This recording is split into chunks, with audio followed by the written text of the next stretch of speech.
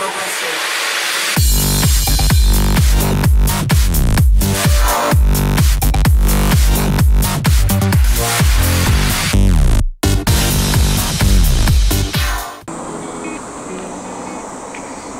いこんにちは。ウィンマンズの小出です。はいウィンマンズチャンネルの中古車紹介、えー、今日もやってきました。三郷店からですね。お送りしていきたいと思います。今日はですね、えー、ランサーエボリューションの紹介をねしていきたいと思うんですけどね。まず、えー、三郷店のね今在庫ずらっといきましょう。店舗をね紹介していきたいと思います。簡単に。一応ね展示場はね表にはねこういう、えー、10台ほどねえー、展示している車があります。でそこからね屋内があるのでもうね暑い日でもガンガンファンが回っておりますんで、はい、ファンはねあっちにもあるしあっちにもあるんですよね、はい、で一応ここはねホンダブースですね。ホンダアコードからシビック、はい、ここにずらっと。これはね、えー、先日大和君のねチャンネルで紹介された、えー、シビックですね。タイプ R です。これねすごいもう山本君の動画でねもう見に来る方いっぱいいるんですよ。なのでね早いもん勝ちになっておりますんで。はいこちらがアルトワークスね。はいそれでこちらが、えー、インプレッサインプレッサブースになります。これこれがこの間僕アップした車なんですけどもね売れちゃったみたいなんです。はいでこちらがねまたかっこいいの入ってきてるんですよ。これもね撮りたいなと思ってるんですけどでこれ撮りました。これバッチリです。撮りましたんでアップします、えー、でこのインプレッサこんなレパートリーで今日ですね紹介したいのはこちらです。はい。ランサーレボリューション。エボ10ですね。エボ10がね12345台あります。5台エボテンがですね在庫しております。今回この5台のエボリューションをですね一気紹介していきたいと思いますんでちょっと時間ですが最後までご視聴の上チャンネル登録とポチッと、えー、いいねをよろしくお願いします。はい行きましょう。はいまずねこちらですね。はいこちらがですねランサーエボリューションエボリューションのグレードが GSR ですね。えー、平成21年の1月登録。で車検が6年の1月来年の1月まで残ってて走行は14万3000キロです、はい、チューニングは SST オーバーホール、はい、モンスターのコンピューターですね。テインの車高調とブリッツメーター。円形のアルミホイールかな。パールホワイトです、はい、見た目は本当アルミが入ってあってえー、はい、ちょっと車高が落ちてるぐらいですかね、はい、こちらがねホイールになってます。ガリ傷もちょいガリ傷あるのかな。ブレンボブレーキね。でエボテはここにねダクトがついてるのがポイントですね。パールホワイト。いいっすよね。パールはいい色してます。綺麗ですね。はいちょっと内装を見てみようかな。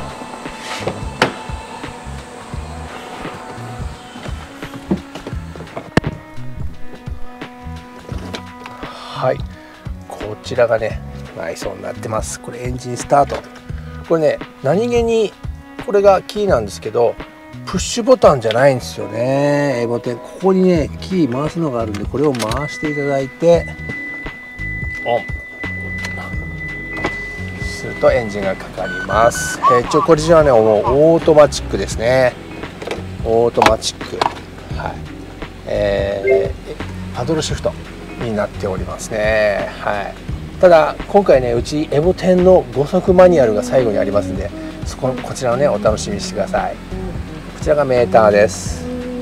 はい走行がね14万2703キロになっております。はい、エボ10はね俺ちょっと乗ったことないんで、えー、ちょっとどんな車かな。まあもちろんさいい車なんでしょうけどここに 4WD のねえー、ポインあのボタンがありますね。これここで変わるんだな。これでステージを変えられるからスノーはい変えられるみたいですね、うん、エアコンもバッチリ効くし。まあ一応この年代でね、えー、なんか機能がしないっていうの自体がちょっとおかしな話なんで全く問題ない車ですね今のところ。はい、はい、で一応もちろん修復はない車で、えー、車体金額が168万9000円、えー、支払い総額ですと184万9000円の車になっております。はい白でパル。ちょっとねボンネットのここになんか傷があって修正ペイントでねペイントしてます。そこぐらいかな気になるところは、うん、はいまずこれ1台目ですね。はいじゃあ次2台目いきましょう。はいこちらブルーですね。ブルーのランサーエボリューション、はい、こちらがですねグレードが GSR のエボリューション10で、えー、平成21年の1月登録ですね。車検が6年の1月、えー、こっちと同じですね。来年の1月まで残ってて走行が6万7000キロ。もちろん修復はございませんと、はい、で一応内容的にはレイズの30ってやつですね。18インチホイール HKS マフラー。EVC とカーボンエアダクト、まあ、あとは純正のフレームキャリバーとかね。レガロシートっていうところでしょうかね。まあノーマルに近いですねほとんどね。一応アルミホイールがこうやって入っております。はい、ブルーにねシルバー的なホイールもなかなか似合うんじゃないでしょうか。一応傷見ても全然なさそうだね一応もうフォグランプがねついてるのとついてないの。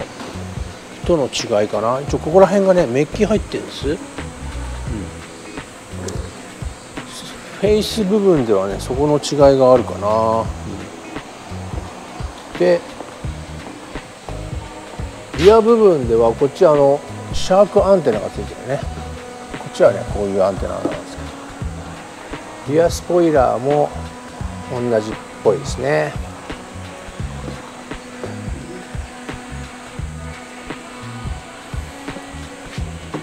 はいリアもね何ともないですね。一応マフラーがこんな感じです。はい、こちらはね鍵がねインテリジェンスじゃなくて普通の鍵ですね。入れてエンジンスタート。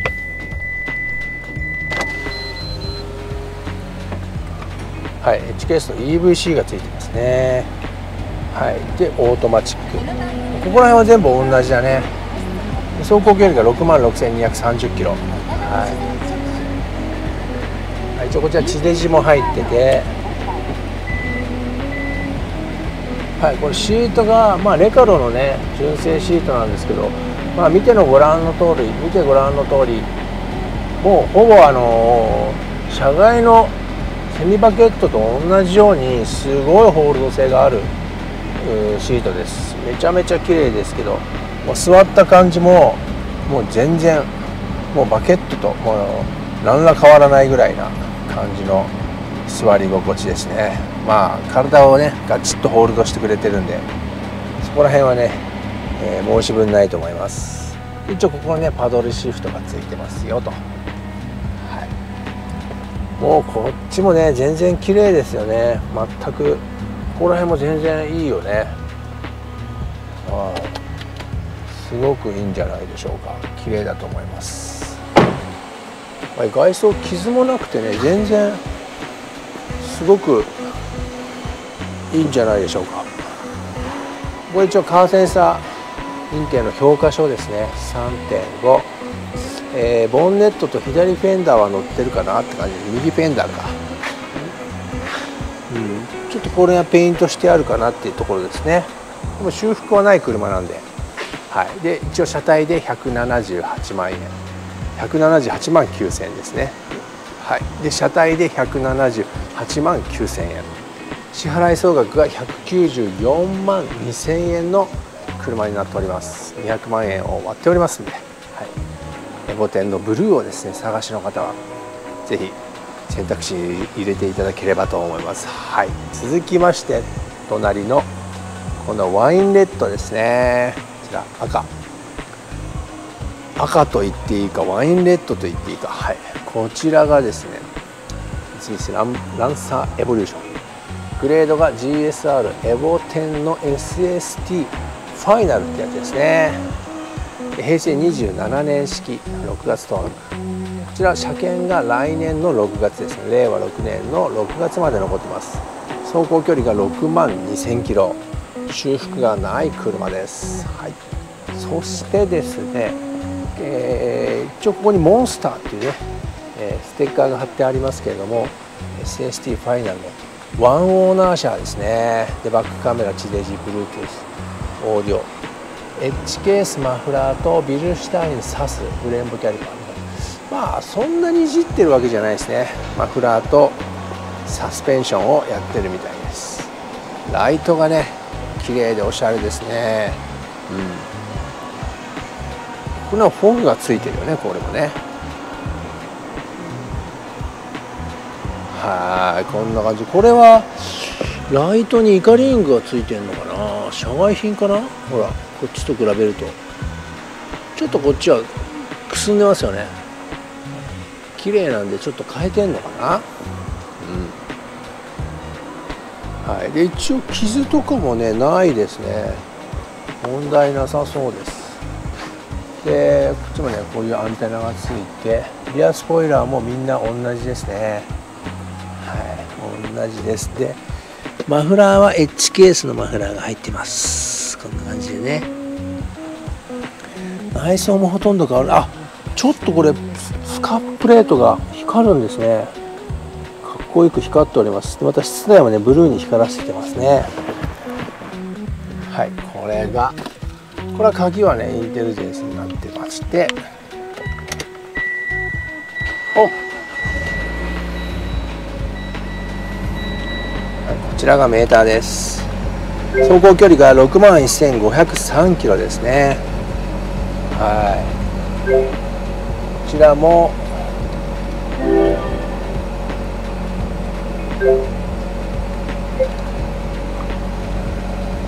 はい地デジ内蔵で、バックカメラがついてます。はいで一応オートマチックですね。ほぼ3台同じようにねハンドルステレリングは同じでパドルシフトがついてますよと。いうことになってます。はい。一応これ完成3人でですね4点修復ないよと。いうことで、えー、全体的にやっぱり綺麗だね、うん、このシートもめちゃめちゃ綺麗です。しランサーはやっぱり後ろも全然広いんでいいですよね。ここら辺3台見てもなんかここら辺の作りがねやっぱりいいですね。なんかこう革に、え、シルバーステッチでこの野球ボールシフトノブみたいなね感じがまたおしゃれですね、うん、はい。でこれがですね車体価格が358万9000円、えー、支払い総額が374万9000円の車になっております。まあ、年式がね全然違うんで、えー、だいぶね、えー、こっちが新しい車になってるんで価格もだいぶ差が出てきておりますが、えー、なかなかいい車じゃないでしょうか。ワインレッド。はい続きまして4代目。これまたワインレッド。これ結構ちょっといじってる系の車ですかね。はいでも価格的にはそんなあ抑えた感じの、はい、こちらがランサーエボリューションの、えー、GSR ですね。で平成22年の12月登録、はい、車検が今年の12月7日まで。走行は10万1000キロ走ってますね。はい一応ボンネットがね車外の入って車外の入ってんのかなこれ。でも形状は同じだよね。ダクトの穴と。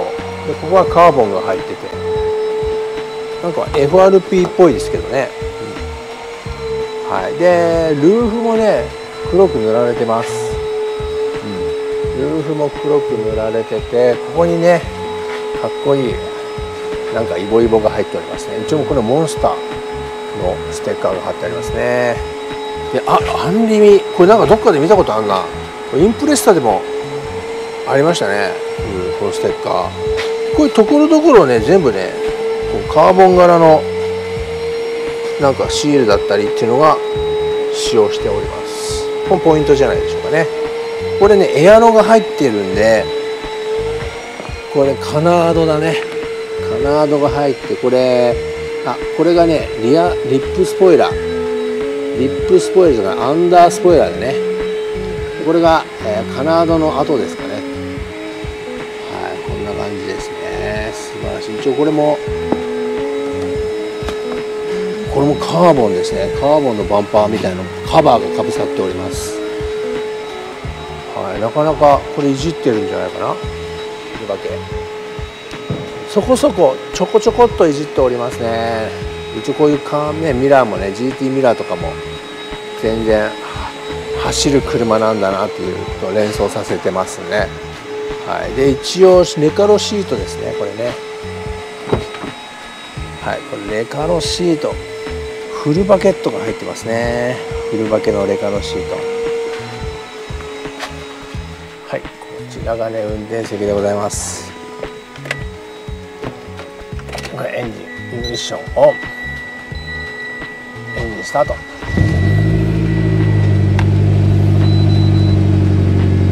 はい一応ハンドルステアリングねここの端にここのステ両端ね両サイドにねカバーがかぶさってます。これなかなか握りやすいですよね。でえー、っとねここもねカーボンですね。カーボンのカバーがかぶさってますね。ここね。はい、はい、そしてですね走行が10万と745キロ、え刻んでおります。これがですねオートメーターだね。オートメーターの2連に対してここにレフィのブースト系がついてます。こんな感じねで車外のナビゲーション。これも地デジですね。地デジでバックカメラはあバックカメラ入ってないのかな。でね一番これ注目すべきはねこれ。見てください。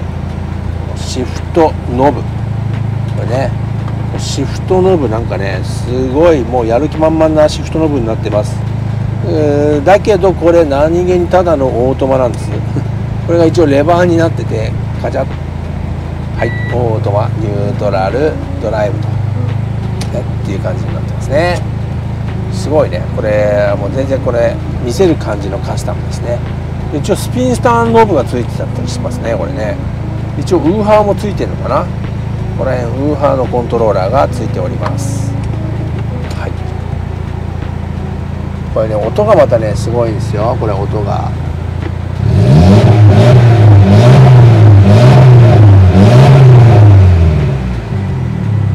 いい音でしょ？